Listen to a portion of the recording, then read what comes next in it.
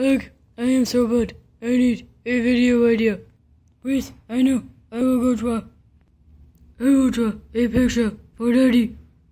A little bit over here. And also some over here. Hmm. Well, this is perfect.